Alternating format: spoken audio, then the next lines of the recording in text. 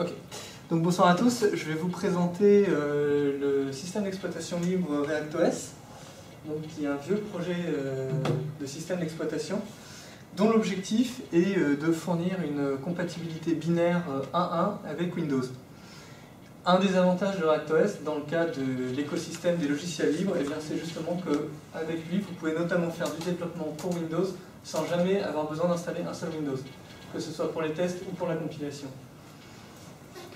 Donc euh, vous avez mon plan euh, juste ici. Donc je vous parlerai de tout ça. Donc brièvement, qui suis-je vis-à-vis du projet ReactOS Eh bien, donc, je suis Pierre Schweitzer, vous avez mon adresse email juste ici. J'ai rejoint le projet en 2006, où je faisais d'abord la traduction. Puis en 2007, je suis devenu euh, développeur avec tous les droits qui allaient bien. Depuis juillet 2011, je suis passé sysadmin sur le projet. Et euh, donc je suis connu sous les pseudos Ice Peter et Pechwitzer, et donc vous pouvez me trouver sur IRC euh, et sur les commits euh, avec ces noms-là. Donc ReactOS Kezako, donc c'est ce que je disais en introduction, c'est un système d'exploitation libre et gratuit que vous pouvez trouver à l'adresse suivante. Donc c'est un projet qui est très très vieux, il, a été, il date de 1996, donc il a beaucoup d'âge. Euh, parce que c'est un projet, qui est extrêmement complexe et qui a peu de gens, il avance euh, lentement et c'est pour ça qu'on en est à un stade que je vous présenterai plus tard à, l'heure euh, d'aujourd'hui. Donc le but du jeu c'est de réimplémenter l'API de Windows.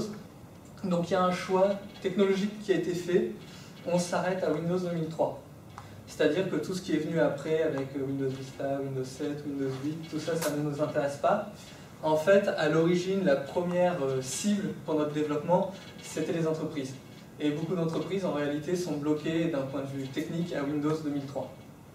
Parce qu'elles ne peuvent pas, euh, pour des raisons X ou Y, porter leurs applications ou ce genre de choses. Puisque la majorité des systèmes que vous utilisez à l'heure actuelle marchent avec Windows. On peut penser aux distributeurs d'argent, aux distributeurs de billets par exemple, tout ça fonctionne sous Windows 2003 ou Windows XP encore. Donc actuellement, on est en version 0.3.5. Euh, il y a des débats sur le versionning, donc euh, ça, de toute façon, c'est pas, le plus important, on l'a vu avec Chrome notamment. Et euh, par contre, on est toujours en version alpha, c'est-à-dire qu'à l'heure actuelle, si vous voulez utiliser ReactOS, vous pouvez. Maintenant, il faut s'attendre à ce que vous ayez des écrans bleus, des fonctionnalités qui ne soient pas là. Oui, on a gardé les écrans bleus, c'est important. c'est la fonctionnalité principale de Windows, donc ça va Oui, et nous on a même été plus loin. On est capable d'avoir des écrans bleus dans les écrans bleus. Oh bien Ça, Windows ne l'avait pas fait. Donc euh, brièvement, une image de ReactOS. Alors celle-ci, je ne l'ai pas choisie par hasard. Elle m'a semblé euh, particulièrement intéressante parce que dans le topic, vous voyez euh, par exemple tout simplement ici CodeBlocks qui est en train de tourner. Et quelqu'un a écrit une application vraiment très simple, l'a compilée dans ReactOS et l'a fait tourner juste ici. Et en fond, vous pouvez même voir Opera qui est en train de tourner. Donc si ReactOS n'est pas encore parfait, vous pouvez voir qu'il a déjà une excellente compatibilité puisque beaucoup d'applications peuvent déjà tourner dedans. Après, c'est plus une question de combien de temps ça, ça tient. Alors, euh, l'autre force de ReactOS, c'est que c'est euh, on n'est pas seul sur une île. En réalité, on s'intègre énormément dans l'écosystème du logiciel libre. Donc, en première partie, on utilise énormément de code de, Wine, donc, euh, que vous connaissez, qui fournit un layer de compatibilité pour Windows sous Linux et aussi sous Mac, quand de temps en temps il est porté. Et le fort avantage, c'est qu'on arrive avec une chaîne de cross-compilation. C'est-à-dire qu'un développeur euh, pour ReactOS peut développer que ce soit sous Windows, euh, Mac ou euh, Linux. Et on s'intègre avec d'autres outils pour notre chaîne de compilation, notamment CMake et Ninja. Alors Ninja, présentation très rapide pour ceux qui ne connaissent pas, c'est un outil de Google qui vise à remplacer Make. Et on a des temps de compilation qui sont réduits à néant avec Ninja, d'où notre passage à Ninja. Alors notre collaboration avec elle est plutôt étendue on récupère le code des DLL qu'ils implémentent euh, de Windows. L'idée étant de ne pas réinventer la roue. Vu qu'on réinvente déjà la roue, on ne va pas la réinventer une deuxième fois. On récupère aussi leurs outils de compilation, puisque Microsoft, pour le développement, utilise des outils euh, qui leur sont propres, euh, notamment pour tout ce qui est les fichiers IDL. Ils ont leur propre compilateur qui passe dessus, et l'idée c'était de récupérer celui que Wine a réimplémenté. On récupère aussi leurs tests, c'est important, si on veut avoir une compatibilité 1-1, il faut bien que les tests passent, donc on a récupéré leur batterie de tests qui est énorme, l'objectif étant de, tous les passer. Et en contrepartie, parce qu'on est des gens bien, on leur envoie des patchs et des correctifs euh, quand il y a besoin. Puisqu'il arrive que, euh, comme on ne tourne pas tout à fait dans, dans la même configuration, on est un OS à part entière, on trouve des bugs que eux ne trouvent pas. Alors, pour autant, euh, ReactOS n'est pas Wine. Ça, c'est quelque chose de très important. Et on pourrait même rajouter plus loin que ReactOS n'est pas Linux. C'est-à-dire que ReactOS n'embarque pas de code du tout de Linux. Tout a été réécrit à partir de rien. Donc, par exemple, on a réimplémenté un noyau donc, euh, qui correspond à celui de Windows. On a réimplémenté des pilotes. Et euh, l'idée, c'est que euh, là où Wine n'y arrive pas, nous, on supporte les pilotes de Windows. Pas tous, ça c'est encore parce qu'on est en version alpha. Mais on supporte déjà quelques pilotes Windows qui sont assez intéressants. Nous, d'un point de vue test, ça nous permet de voir jusqu'où on est robuste. Et donc, encore une fois, il n'y a pas besoin de Linux, on fonctionne sans Linux. Alors, le développement sous ReactOS, donc que vous vouliez euh, porter votre application sous Windows ou que vous vouliez juste développer euh, sur ReactOS, on en revient toujours au même point. Vous avez besoin d'un environnement de développement, donc ça c'est euh, notre façon de faire pour simplifier le développement. On fournit un environnement de développement qui a tout. Tous les outils de développement dont vous avez besoin sont dedans, ils ont été euh, compilés par nos soins ou vous les compilerez sur votre machine dans le cas de celui pour euh, Linux. Et en même temps, on applique des patchs dont on a besoin, que ce soit sur GCC ou sur les bin utils, euh, quand on, va un peu à la limite de ces outils. C'est une chaîne de compilation complète dans le sens où bah, vous avez un code source en C ou en C++ et vous sortez à la fin soit des librairies, soit des exécutables. Vous n'avez rien à faire entre deux, tout est déjà prêt à l'utilisation. Et donc on s'appuie, euh, comme j'ai dit, sur GCC, Ninja, CMake, euh, tout cela, et les bins utiles, évidemment. L'autre force, c'est qu'il tourne sous Linux, BSD, Windows, Mac OS X. Bon, Mac OS X, presque. On a des petits soucis, mais c'est pas tout à fait un BSD, donc ça pose problème. Euh, donc cet environnement de développement, bah, on l'a gardé aussi simple que possible. Donc vous avez un terminal. Voilà, ça on ne pouvait pas faire plus simple. Sachant que le terminal, en fait, quand vous allez lancer ce, terminal, lui va setter tout l'environnement qui est nécessaire et euh, vous aurez des commandes en plus pour pouvoir euh, taper à peu près ce que vous voulez. Typiquement, si vous voulez taper une application, bah, euh, ici vous aurez juste à taper Ninja, le nom de votre application, et elle sera compilée. Donc, prérequis pour développer, bah, tout simplement vous installez le donc ça peut prendre du temps. Sous Windows, c'est très rapide parce que tout est filé, euh, compilé, parce que sous Windows, par défaut, vous n'avez pas d'environnement de compilation. Sous Linux, tout est recompilé sur votre machine. C'est histoire d'aller un peu plus vite pour nous. Donc ça peut prendre du temps. Parce que quand je dis tout, euh, vous recompilez euh, GCC, CMake, vraiment tout.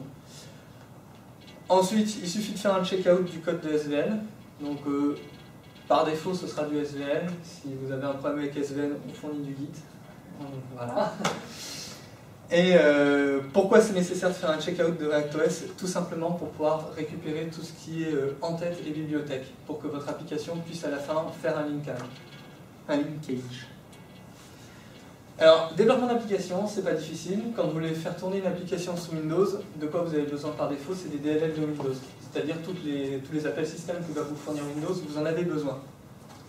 Donc ici, comment ça se passe? Bah, Vous allez retrouver exactement les mêmes appels système dans ReactOS toujours notre histoire de compatibilité 1.1. Et votre application, vous allez pouvoir la compiler grâce à notre environnement de développement. Sachant que toutes les fonctions sont présentes, jusqu'à Windows 2003 je rappelle, sont présentes dans ReactOS, vous n'aurez aucun problème à porter votre application pour du Windows 2003 par exemple. Votre application, une fois qu'elle aura été compilée avec notre environnement de développement, elle sera fonctionnelle à la fois sous Windows ou sous ReactOS. Vous n'aurez pas besoin de recompiler pour passer de l'un à l'autre qui vous permet d'éviter d'installer euh, par exemple Visual Studio ou d'installer votre propre chaîne de, compilation euh, sous Windows.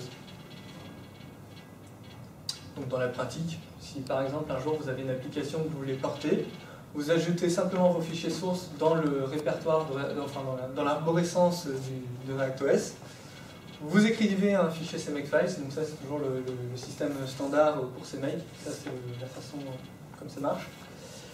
Vous ajoutez donc votre répertoire dans l'arborescence de ReactOS et ensuite vous avez simplement à faire un Ninja application. Si vous avez bien mis vos dépendances, votre application sera compilée, mais d'abord les dépendances seront effectuées et tout marchera sans problème. À noter d'ailleurs que c'est comme euh, dans Windows quand vous faites des compilations, vous devez lui dire de quel DLL vous dépendez. Par défaut, lui ne saura pas de quel DLL vous dépendez, donc vous devez lui les donner et lui, au moment du linkage, il vérifiera et fera les bons liens euh, comme nécessaire. Alors des exemples d'applications euh, dans ReactOS, vous trouverez tout simplement toutes nos applications, puisque ReactOS ne vient pas de nous, on vient avec nos propres applications, à commencer par une application de base qui est l'explorateur Windows. Bon, c'est l'explorateur ReactOS, mais enfin le principe est même. Si vous voulez l'utiliser sous Windows, vous pouvez. Vous n'avez pas besoin de le recompiler sous Windows. Vous le prenez à la sortie de la compilation, par exemple sous Linux, vous le mettez dans Windows, il tournera.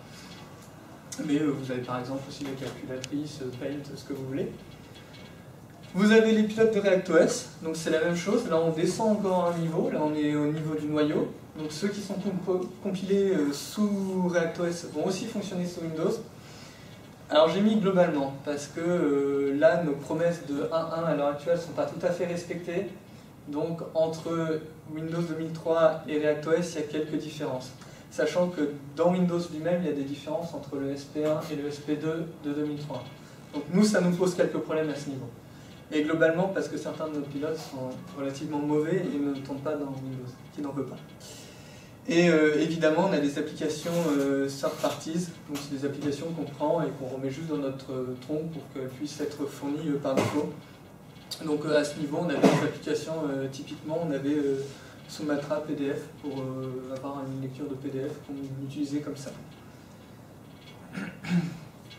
Alors les bémols, parce qu'il y a des bémols, vous avais dit que le but du jeu c'était de pouvoir compiler votre application, tester votre application sans jamais installer un Windows. C'est presque possible, mais pas tout à fait. On n'a pas réimplémenté toutes les API, donc il y a certains appels système que vous ferez qui ne marcheront pas, parce que les API ne sont pas implémentés, ou qui marcheront mal parce que l'API n'a pas été implémentée en, totalité. Et si votre application marche sur Windows, ce que je lui souhaite, il n'est pas dit qu'elle marche sous ReactOS, parce qu'on euh, est encore en version alpha, donc ça implique ce que ça implique. Et euh, énorme bémol, euh, attention en C++, donc je ne sais pas jusqu'où vous avez ici la connaissance du C++, mais vous avez dû entendre parler de tout ce qui est la décoration des noms en C++, et il s'avère que G++ euh, et LLVM, par exemple, utilisent la norme Itanium C++. Ce qui fait qu'ils n'utilisent pas la même décoration que MSVC, le compilateur de Microsoft. Donc on en arrive à un problème où nos applications compilées avec G++ ne peuvent pas parler à Windows, dans le cadre des API en C++. Donc on arrive à un souci de compilation lui-même, donc si votre application doit tourner sous Windows ben, et qu'elle est en C++, a priori vous devez la compiler sous Windows, sinon vous serez incapable de la faire fonctionner. Et euh, dans notre cas, pour pouvoir euh, résoudre ce problème, on en passe à faire des, tours de passe-passe à coup de bibliothèque écrite en, en assembler, c'est pas le choix pour euh, faire des alias de symboles entre symboles, pour avoir les deux décorations. Sachant que c'est pas tout à fait exact de faire ça, puisque la norme va beaucoup plus loin que les décorations de nom, elle en va même jusqu'à la table virtuelle de vos fonctions qui ne sont pas les mêmes. Donc euh, si ça marche bien pour un opérateur new, par exemple, qui a une décoration qui lui est propre, pour une classe, ça risque de moins bien marcher. Donc à l'heure actuelle, c'est des choses sur lesquelles on travaille, sur lesquelles je travaille même personnellement, et on en vient plus ou moins à faire euh, notre propre compilateur qui sera capable de parler aux deux normes pour qu'on puisse avoir nos propres objets. Enfin, ça va être... Euh, on n'a pas le choix. Euh, quid des autres langages Donc ReactOS en réalité ne vient qu'avec du C, du C++ et de l'assembleur. Donc les autres langages, bah, si vous voulez les utiliser il est porté dans, Windows, et il faudra installer votre compilateur dans ReactOS et compiler directement dans ReactOS. Vous ne passerez pas par la chaîne de compilation. Donc on supporte certains compilateurs de BASIC, si certains sont intéressés. On a du Java qui marche jusqu'à une certaine limite. On a repris Mono qui marche, donc Mono marche plutôt bien, avec les limites que Mono a lui-même. Et donc encore une fois, ça c'est pas dans la chaîne de compilation en tant que telle, ça vient à part, vous installez ReactOS, vous le mettez dedans, vous compilez votre application. Et euh, la question euh, généralement standard, euh, qui est un élément important dans un programme, c'est le jour où votre OS est capable de se compiler lui-même. Donc on n'en est pas encore arrivé là, donc ça vous donne une idée de... Bon, voilà. On a quelques soucis, notamment avec GCC, qui n'est pas capable de s'exécuter complètement. mais pour nous c'est un objectif extrêmement important, être un jour capable de compiler ReactOS dans ReactOS. Euh, un objectif secondaire, qui par contre euh, peut être réalisable à l'heure actuelle, c'est simplement d'avoir un serveur web ReactOS qui soit capable d'héberger euh, un site pour ReactOS.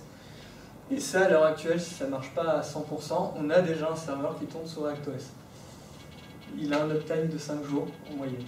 Bon, ça vous donne une idée de la stabilité. Accessible sur Internet Accessible sur Internet.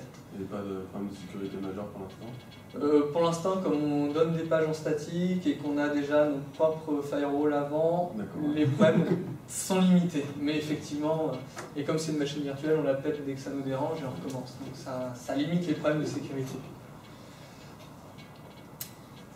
Donc les conclusions. Donc ReactOS, comme je vous l'ai présenté, c'est un système d'exploitation qui se veut compatible 1.1 avec euh, Windows 2003, toujours. Ce que j'ai pas dit, mais qui est important, c'est que pour l'instant 2003 c'est notre cible pour différentes raisons, notamment les entreprises. On ne s'interdit pas pour autant un jour de passer à une autre version. Après, c'est quelque chose sur lequel on réfléchit beaucoup à l'heure actuelle, de réussir à maintenir deux, voire trois compatibilités en parallèle via euh, différentes méthodes sur les DLL pour euh, qu'elles puissent répondre dans, dans deux modes de compatibilité différents. C'est relativement anecdotique pour l'instant, sachant que comme on n'est pas totalement fermé à ça, les API euh, non importantes de Windows 7 et de Windows Vista qui n'ont pas besoin de, modifications fortes dans le noyau, on les implémente déjà. Le noyau par contre lui est vraiment figé à 2003 et ça c'est pas négociable. Avant longtemps, je pense. Donc le point vraiment important et qu'il faut retenir de ça, c'est que euh, pour des besoins simples, juste de cross-compilation, bah, ReactOS peut vous servir et vous aider simplement. Ça vous évite de développer, enfin, ou en tout cas d'installer votre propre chaîne de cross-compilation. C'est fait euh, en allez, 30 minutes clé en main, vous avez votre cross-compilation, quel que soit le système d'exploitation que vous avez. Vous avez juste besoin du ROSBO, donc vous mettez votre code dans ReactOS et c'est parti. Et euh, pour les tests, quand même, puisque c'était un point important. Les tests, pour l'instant, si votre application marche dans ReactOS, c'est qu'a priori, sauf malentendu, elle marchera dans Windows aussi, mais qu'inversement, votre application n'est pas euh, assurée de fonctionner dans ReactOS. À titre d'exemple, euh, une de nos applications qui nous sert, nous, à voir si ReactOS marche proprement, c'est par exemple Firefox. Si un jour Firefox ne marche plus, on arrête le développement jusqu'à ce qu'il soit corrigé. Parce qu'on part du principe que c'est une application qui est euh, utilisée euh, tous les jours par n'importe qui et qu'elle, elle doit impérativement fonctionner. Sachant qu'on a aussi mis d'autres tests qui nous permettent à nous de faire tourner des applications euh, diverses pour vérifier si elles marchent. Donc il y avait Mozilla, Zip, etc. Voilà. Donc si vous avez des questions, je suis à votre écoute. Ouais. Alors j'ai une question, ça a l'air passionnant, mais pourquoi? Pourquoi?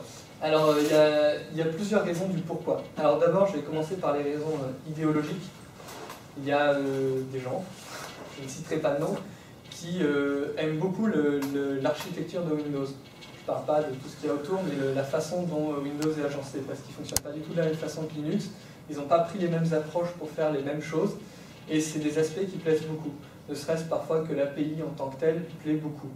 Sauf qu'après, idéologiquement, on n'a pas toujours envie de faire tourner une application sur un système propriétaire. Donc certains sont arrivés à la conclusion que ce serait bien d'avoir un système open source qui fasse la même chose, mais de façon libre.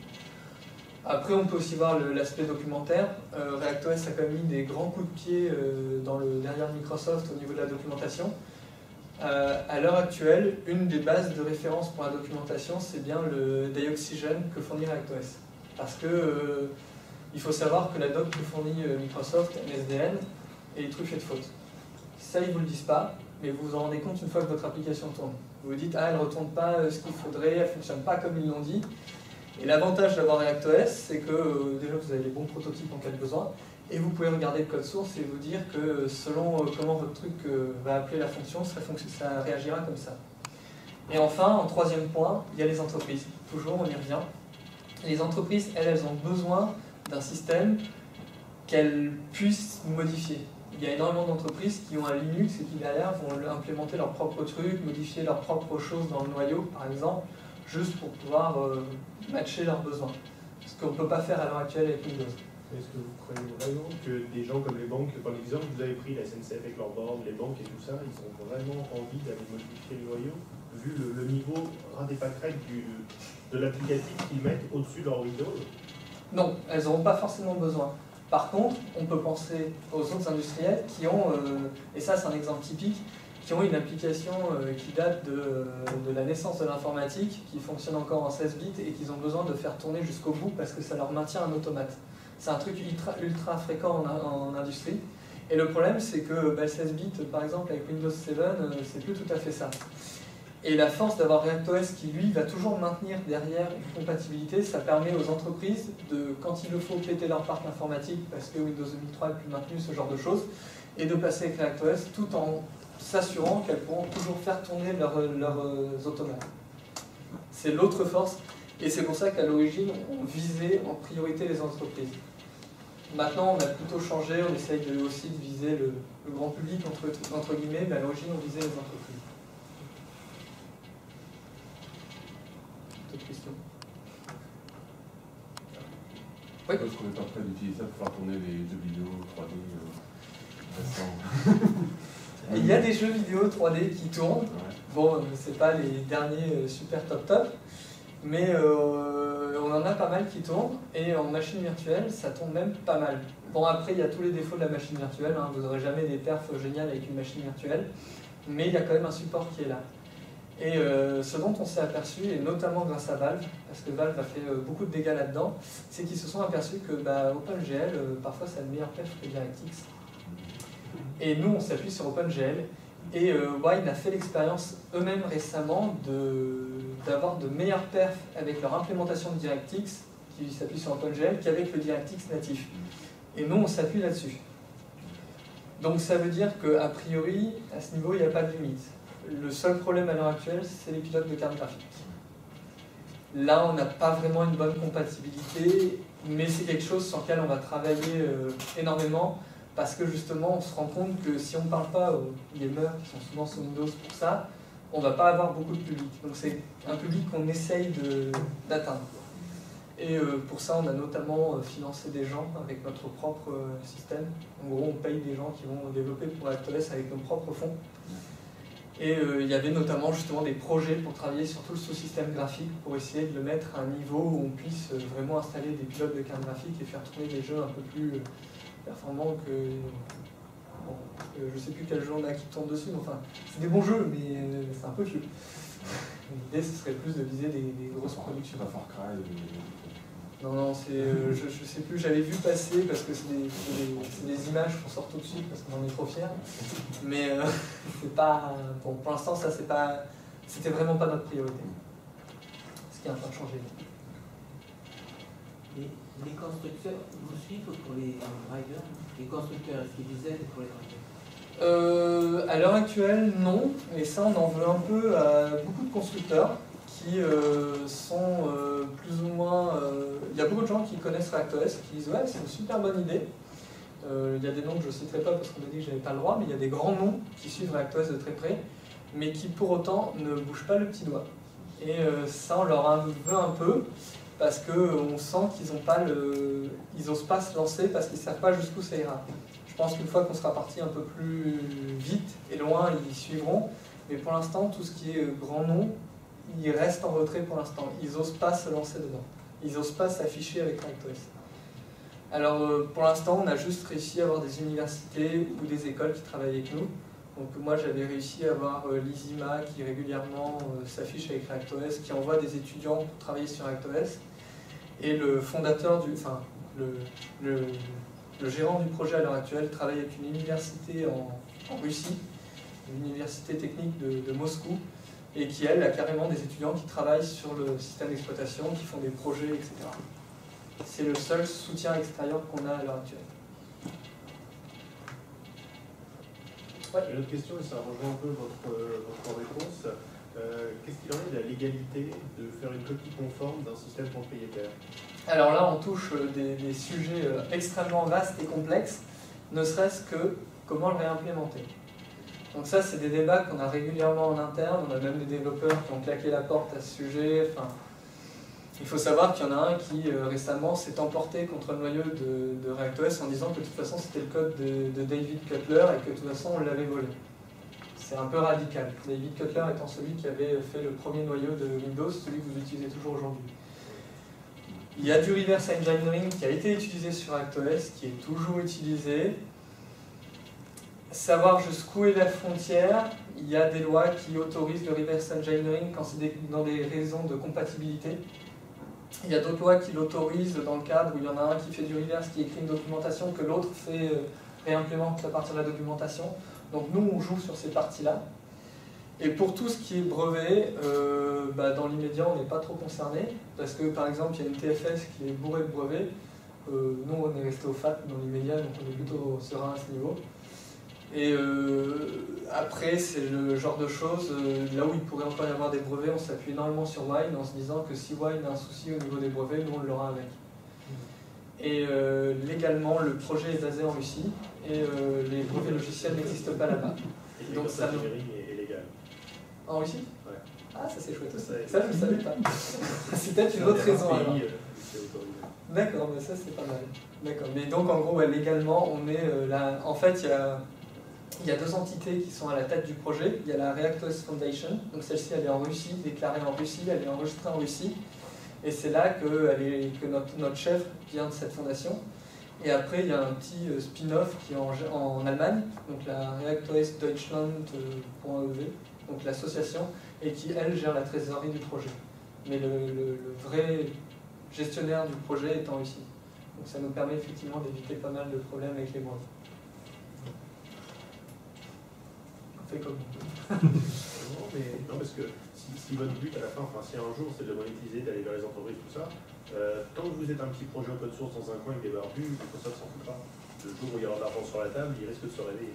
C'est exactement euh, une discussion qu'on a eue euh, à ce sujet récemment parce que un des, un des aspects de financement auxquels on pensait pour le projet, c'était de lancer un Kickstarter normal. Donc il fallait, enfin je ne sais pas si vous êtes déjà intéressé à Kickstarter, mais pour lancer un Kickstarter, vous devez créer une entreprise aux États-Unis. Donc on s'était lancé dans le process de lancer une entreprise aux États-Unis.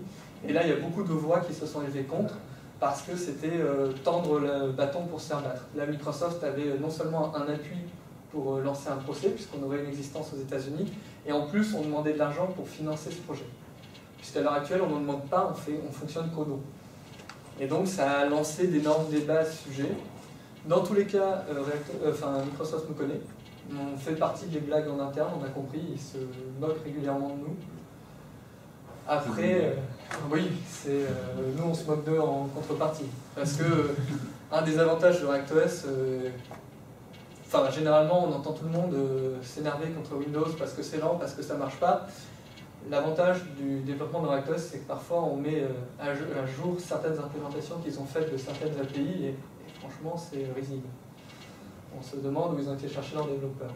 Donc c'est donnant-donnant quoi. Chacun se moque de l'autre et puis pour l'instant, on cohabite et euh, tout va bien. Vous avez des comparaisons de performance entre euh, Alors, on a, de machine et une On a euh, des comparaisons de performance qui sont plutôt malhonnêtes, donc on ne les fait pas à l'heure actuelle. Mais ReactOS, à l'heure actuelle, il boot en quoi 5 secondes ça, même un Windows fraîchement installé sur une machine ultra puissante, il bootera jamais en 5 secondes. Mais je dis qu'elles sont malhonnêtes parce que nous, on est beaucoup plus léger. Il y a énormément de mécanismes qu'on n'a pas. Donc effectivement, on va booter beaucoup plus vite parce qu'on aura des, limitations que... on exécute moins de code au final, donc on, va plus vite.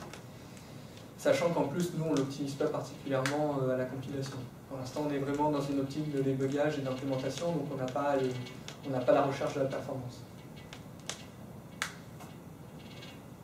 Au niveau du, noyau, tu parlais des API qu'il faudrait casser si jamais on passait à Windows 7 ou 8. Enfin, Est-ce que c'est pas gérable en ayant des branches spécifiques par noyau et éventuellement en gardant euh, genre les correctifs, on pourrait les partager entre différentes branches? C'est des questions qui se sont posées. Maintenant, euh, le problème c'est que beaucoup des développeurs euh, noyaux sont, je vais pas dire submergés par la complexité du noyau, mais quand même. Et l'idée c'est de garder au maximum une version qu'on comprend, qu'on arrive à stabiliser, et après passer à une autre version à voir. Mais l'idée, c'est que ce serait trop compliqué de maintenir plusieurs versions du noyau en parallèle. Sachant que je prends un exemple bête, mais euh, dans 2003, ce qu'ils pensent, qu'on pensait être une simple mise à jour, ils ont déjà pété pas mal de trucs. Ils ont refactoré pas mal de code en interne. Et euh, bah, de 6 à 7, euh, c'est encore pire. Et euh, donc ce serait difficile pour nous de maintenir ça. Donc enfin là je parle en tant que développeur noyau sur ActOS. Pour nous pour l'instant c'est vraiment le. On essaye de rester à 2003 vraiment. Après, quand, si, si admettons s'il y a une énorme demande, on pourrait genre maintenir un énorme diff entre deux versions. Mais c'est pas trop, pas trop à l'heure du jour. Sachant qu'en plus, SVN ne supporte pas ce genre de système. Oui, mais en fait, le guide, c'est un miroir du SVN, donc on peut pas. Parce qu'avec Git, ouais, ce serait faisable. On pourrait se faire une branche avec un noyau euh, à part entière, mais là, c'est beaucoup plus difficile avec SVN. Et euh, on n'a pas d'idée de la, taille de l'équipe, enfin, grosso modo, combien de gens qui travaillent là-dessus? Euh, c'est extrêmement fluctuant, mais on va dire qu'en gros, tous les mois, si on prend les statistiques, on a en gros une vingtaine de personnes qui vont commiter des patchs. Après, il y a encore tous ceux qui euh, n'ont pas les droits de commit et qui euh, donc euh, filent des patchs bah, via notre Jira et donc là ils sont commités. En gros, on pourrait peut-être dire qu'il y a une trentaine ou une quarantaine de personnes qui participent activement au code par mois. Et après, il y a encore tous les gens qui sont autour, c'est-à-dire testeurs, les simples gens qui vont donner des propositions, voir ce qui manque. Il y a énormément de gens qui courbitent autour du projet. Et après, il y a les